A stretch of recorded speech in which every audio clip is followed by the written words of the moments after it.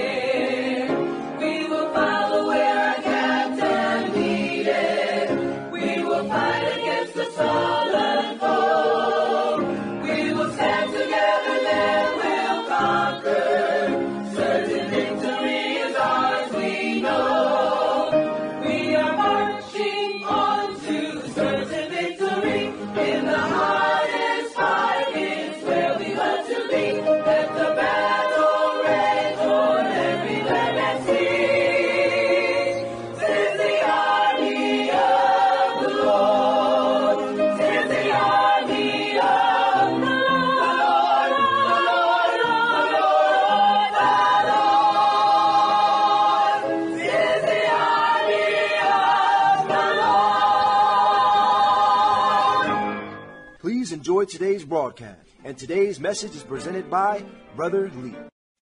We have you turn your Bibles to Ecclesiastes chapter 4, verse number 12. I'd like to thank all those coming out tonight to the house of God, all those tuning into the broadcast. We appreciate you as well, especially the brother in prison. Keep going strong for God. Ecclesiastes chapter 4, verse number 12.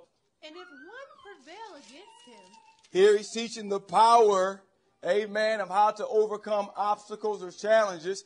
He says, if one shall prevail against him, if one comes against a person and prevails, overcomes him, come on, he's teaching a principle here. Come on. two shall withstand him, Two shall withstand him, shall withstand him. Come on. and a threefold cord is not quickly broken. And a threefold cord is not quickly broken. Go back up to verse number nine. Come on.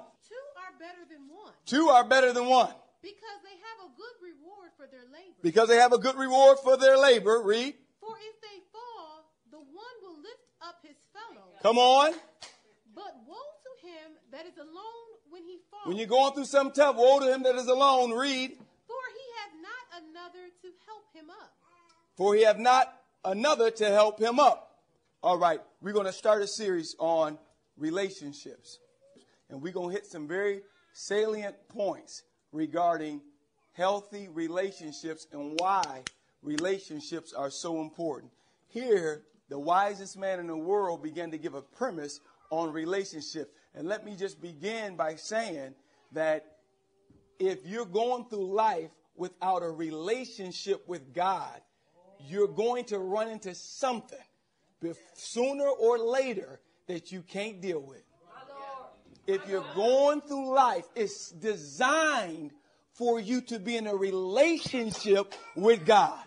Life is designed for you to be in a relationship with God. The fundamental aspect of those that reject God is the principle of pride. It's not just a love for the world or love for getting high, a love for premarital sex, a love for partying, putting dope in your body. No, no, no, no. One of the greatest difficulties that people don't understand is when you reject a relationship with God, one of the critical aspects is pride. You think I can make it in this world by myself. I don't need God to help me. Watch, let me show you. Well, let me tell you, friend, you look, my God, in a few years, few months, a few weeks, and you will see, my God, individuals trying to make it without God will end up eventually making a mess out of their life. Individuals trying to make it without God will eventually is set up and designed that way so you will eventually, my God, get so weighed down with life, get so weighed down with the burdens of the issues you brought on yourself that you will humble yourself and say, God, I need some help. God, I need to humble myself. And some people, you know what pride gets them? They will be going down, down, down. But instead of humbling themselves, they'll try harder, harder, and harder. But don't you know sin is like quicksand? The harder you try to get out, the deeper you go. So instead of humbling themselves and saying, Lord, I think about the prodigal son, and we're going to preach on that in just a few moments. But the critical is, he said he had half of a rich man's lifetime accumulation. And in a few days, it said when he had spent all. So if you was to translate that to today, this man has slaves, servants, all this land, all this stuff. If you was to translate that today, he probably was a millionaire. So if they split that in half, he probably had, let's say, $500,000. In a few days, he went from 500,000 basically to broke. The thought came to me, why couldn't he see once he was partying all his life and money away, why couldn't he say once he had lost a 100,000 in a few days, he said, I ain't to lose no more. Why, why not when he lost half of it, 250,000? Why didn't he come to a sin? Because pride. Pride will cause you to have to go all the way down before you'll reach your hand up to God to lift you out. Many times individuals, their life gets so bewildered. I said, Lord, I do not want you to have to help me get saved. God will help you get saved. You know how? By humbling you. As far as it takes to humble you, I'll go. You want me to go further? I'll go further. You want me to go further? I'll go further. You don't realize you're not fighting against this person or that person. You're fighting against God. And God would allow sin and the weight of sin, the weight of dealing with life itself to wear you down. But thank God we serve a merciful God. He said, Come unto me, all ye that labor and are heavy laden, and I will give you rest. Come unto me. I'm not going to dog you out now. Come unto me. Bring it to me. All those burdens you've caused upon yourself. Bring it to me and I'll take them and I'll give you rest. What a merciful God we serve. So that first relationship that's so important for us to have is a relationship with God. To come to God saying, Lord, I'm sorry for all the sins I've ever committed. I'm sorry for all the things I've ever done. I'm humbling myself. That's why we get on our knees. I humble myself before you, letting you know I need you, God. I need you to save me. I need you to forgive me. I need you like the potter needed the clay. My life is all broken up. Lord, can you please, like you made over the potter, made the clay, can you make me over again? Can you put my life back in order? So, one of the critical aspects of the fundamental relationships that we need is a relationship with God. Men, sometimes it takes a great deal for them to humble themselves. I remember I'm on the back wall, man, and the last thought came to me. I already had paid the price, wanted to get saved, was ready, and then the devil came and said, if you walk down there, everybody gonna know you ain't got it going on, that you couldn't do it alone, that you couldn't make it, that you had to need, you need God. I said, you know what, devil? It's the truth. I couldn't make it. I need some help. I ain't got it going on. I need God to help me. So if that's what the last thing you're going to play, you are defeated. Here I go. Amen, my God. So if you're a man and you're tuning into the broadcast, or you're a young man or a man and you're here tonight and you haven't made that decision, and I'm going to tell you, the devil is dirty. The devil is a dirty devil. My God, my God. Here, he was trying to hinder me from receiving the greatest inspiration, the greatest relationship. Hold on. You see, you weak. You need God. You couldn't make it. No, no, no. I'm a real man. That's why I'm humbling myself. I'm letting God know I want to be on your team. Amen. A real man will humble himself and say, God, I want to serve you. And if you don't believe that, all you got to do is look around thinking they got it going on, got all the answers, this, that, and the other, but don't got nothing, my God, going on for themselves.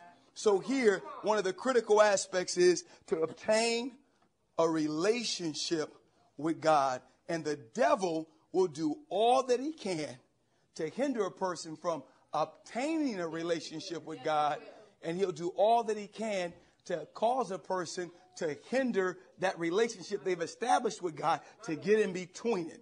But we're going to talk about the power of relationships, the power of relationships, and how they're so important for all of us on many levels with God as a family, as a community, as a church family, on your jobs. If we get these points that we're going to cover in this series on relationships, it will help us not only make heaven, but it'll help us here on earth. All right? So he said here in Solomon that it was critically important that we understand. Read that verse number 12 one more time. And if one prevail against him, If one shall prevail against him, two shall withstand him. so if one comes against a person, two shall withstand him. Two will be able to hold him off. Come on and read. And a threefold cord is not quickly broken. Go over to Mark chapter 6, verse number 7. The power of relationships. And he called unto him the twelve, Uh huh. and began to send them forth by two and two, He sent the 12 out, two by two. He said, Don't go alone, but go together. It will be a struggle when you get out there. Sometimes you'll get weary. Sometimes you may get furlong or you may get tired. But if you got a partner to help you out, sometimes we'll be driving down the highway and we'll get tired. And I'll reach over and I'll tell my wife, I say, babe, I, I need you to stay up with me because I'm getting tired. And if you stay up with me and you talk to me, and you'll be amazed, you get into a good conversation. Man, you get into a good conversation. Next thing you know, you're coming from Georgia or wherever you're at. You look up and Cincinnati's about right there. My God, after y'all get flowing a little bit deeper, you look up and it says up on Dayton. You look up a little bit further, it says, Welcome to Findlay. You look up, my God, before you know it, it says Toledo right around the corner. You look up, and it says a big old sign with a mitten, Welcome to Michigan. You say, Hold on, I'm loving Michigan. Now you get on a little highway, you're going down a two lane now. You look up, and it says Blissfield. My God, and then mess around, you look up before too long, and it says, What? 10 miles to Jackson. Now you can be like, you know what? You can sleep on now. I'm close enough to home. I'm going to stay up now. But what happens, my God? What? Because you had somebody with you, you was able to go a little further than you could have gone alone. Go over to Ephesians 4, verse number 1.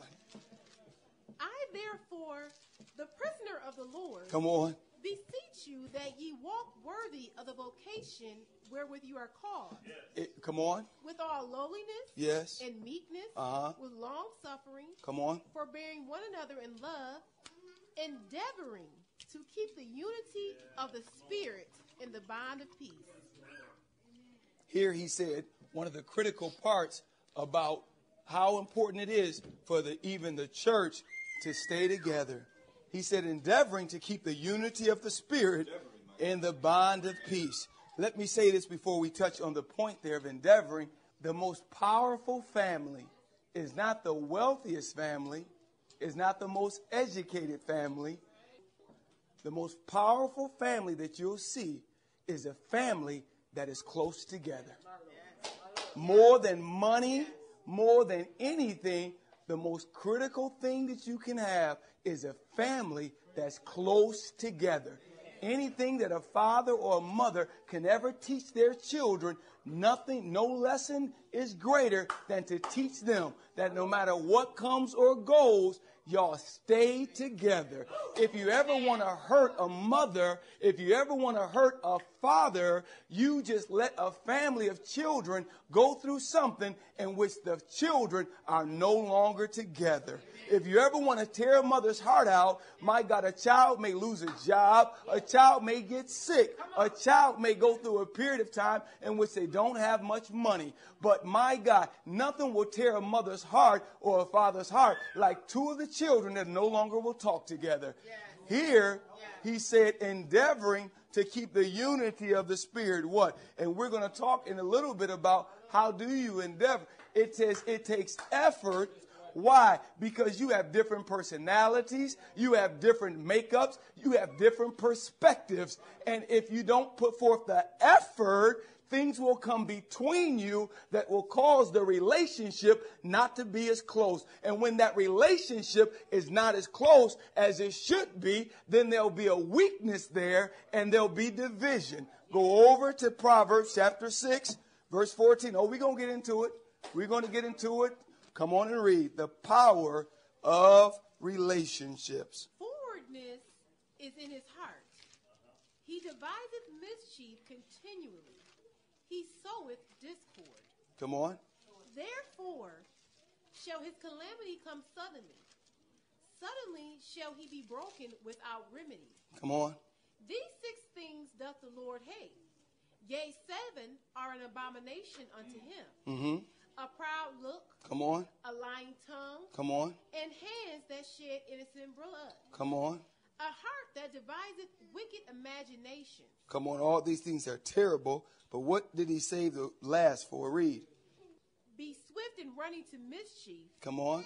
A false witness that speaketh lies. He said lying on people. He said God hates that. Read. And he that soweth discord among brothers. He said one of the critical things that God, of all things God hate, he said he that does what?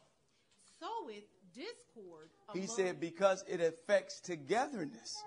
He said one of the things that I hate of all the things in the world is he that soweth discord among the brethren. Now, you have to understand, and we're going to get real deep just in a few moments tonight, but this will help us in marriages. This will help us in family. This will help us in fellowship. This will help us on our jobs. This will help us all over if we can establish healthy relationships and maintain them. He said, of all the things I hate, he said, one of them is he that soweth discord. Why? Because unity and togetherness is so important to me. It brings so much that he that does that is something I hate most because the opposite of that is what I need most. It takes so much of me. You know, he talked about bringing the Jews and the Gentiles together. Nothing on earth was able to produce that. He had to die on a cross to produce that. He said, But my blood is so powerful that I can bring the Jews and the Gentiles together as one to build my church. Now, if my blood took that to build it, anyone that would come and to prevent that, now he said, He that soweth. Now, mind you, and that's why you got to have discernment when it comes to relationships. It said, He that soweth. To sow is to plant a seed and then come back and water it later. Then you plant another seed and you come back and you water and you watch it grow. He said, He that soweth discord, see, to sow it is a subtle, it's not easily detected, but it'll be subtle. It will appear different than it really is. And many times, once it appears and you can sense that person is trying to come in between you and your husband, or this person and that person, this and the other, by the time it appears to you, the seeds has already been planted, but you didn't know they were planted. By the time they come to you in person and divulge what they're endeavoring to do, you are going to be more vulnerable because you didn't realize that they only would show their true stripes if they had already planted the seeds. Many times, even in families, you'll find after mama die, something comes up. After daddy die, something comes up. It wasn't the fact that he gave you the car and he gave me the older truck. No, that wasn't the issue. The issue was way over here. When I got a whooping for this, and you seem to have done the same thing, and you didn't get a whooping, you just got a punishment. Oh, I'm getting way ahead of myself tonight. So, way over here, I seen something happened that I couldn't make sense of, and it didn't seem fair to me. So I got offended. Way over here, I got offended. Now, it didn't manifest itself until mama died, until daddy died. But it didn't happen there. It happened way over here that I got offended. And I didn't get that seed, oh, Holy Ghost, plucked up out my garden. And now it's grown into a sequoia tree. The power of good relationships. Whenever I talk to couples, I say, man, listen, you draw a circle and you put a dot in it and you put two other dots. That's God, that's you, and that's her. And you don't let nobody else in that circle. You guard that circle. If y'all got to deal with stuff, y'all deal with it. If he making you upset, don't you call 10 sisters in the church and tell him about all his stuff he doing to you, this, that, and the other. Y'all get the, you don't call 10 brothers in the church and tell them how off your wife is, how this, that, the, you better be careful because they may not have a good relationship and they may not be happy with your good relationship. So they might throw a seed in on you. You right, the brothers ain't about nothing anyway. And they just, okay, fight it out. And you better be real careful because she may not be fully sanctified and she may find out that you ain't happy. I know I can kind of make him kind of happy. Oh, you want me to go there? I'm not talking about, I'm not talking about physical. Oh, I will preach tonight. I'm not talking about physical. You taking your stuff about what your husband did to you to all these other sisters, and you don't know the full extent of their deliverance. They find out, my God, that y'all two ain't getting along to the extent that you ain't. You not satisfying his emotional needs. She mess around and have an emotional affair on your husband. oh Lord, brother so and so, how you doing? Good to see you. Oh yeah, oh man, you such a tremendous brother. What? I found out that you ain't as happy at home as you should be, so I'm not gonna touch him because that will be a blatant but I'll get real emotional with him and make him feel real good. And I'll compliment him. Brother Ross, my goodness, I like your waves. Oh, my, my, my, my. Praise the Lord. You are tremendous. Can I take care? Oh, you better be careful if you ain't real. Oh, look, listen, y'all a little young right now, so y'all thinking this can't happen in the church of God. But you better be careful who you share your stuff to. You better draw that circle and work out your stuff together but you better get something down in your soul that you don't allow situations that are right to offend you. Because if they go too deep, how do we let, Brother Lee, offenses go? I was offended. How do I let it go? Come on and read. Cast thy burden upon the Lord. Cast thy burden upon the Lord. Come on. And he shall sustain thee and he shall sustain thee. He shall never suffer the righteous to be moved. Cast thy offense that's burdening you down upon the Lord, and he shall sustain thee. He shall never suffer thy righteousness to be moved. Okay, something happened. Lord, you know what happened. I'm asking you, take this thing. Lord, I'm casting it. You don't deal with it. You don't cast it. You get counsel. You figuring out and it goes deeper and it goes deeper. And see, once you are offended, everything that transpires in that relationship after the offense takes place is seen through the lens of an offended person. So now dots will start connecting that never was intended to even connect. Stuff will start making sense, and the devil will make sure that you get involved and get information that will further your offendedness. And it's amazing, but he could even cause people at your job or people in your family or people wherever that have been offended too to actually get together and they can actually strengthen each other's offenses. So now he said, Cast thy care upon the Lord, and he will do what? Sustain thee. He will sustain your experience. Read. He shall never suffer the righteous to be moved.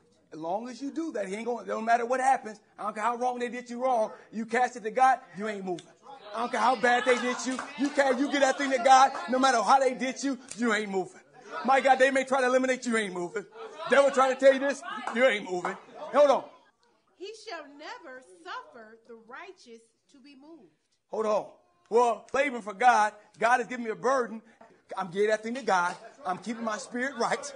Amen. Or they ain't gonna never use you. I'm keeping my spirit right. Amen. I ain't taking my ball and going home. Amen. I'm still going forth for God. He shall suffer never the righteous to be moved thing weighing you down is going to catch you up in a storm. But if you can cast it to the Lord, if you can figure out some way to let it get back to God, saying, God, I don't want this thing here. I don't want this, Lord. May mercy cause this thing to leave me. God, please. Lord, I'm acknowledging it. I'm being real. Take this thing out of me. I know she did me wrong, but I got to see her clear. I'm not stunned what she did to me. You ain't done me wrong.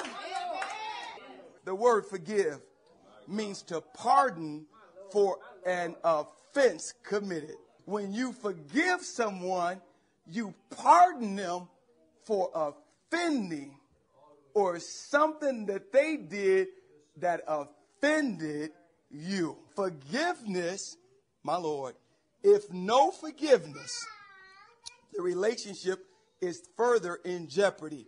Forgiveness is the foundation upon which breached relationships stand. My Lord. And the reason why storms come and blow over some towers of relationships is because the foundation had cracks in it. And why do you rarely see people delivered from offenses?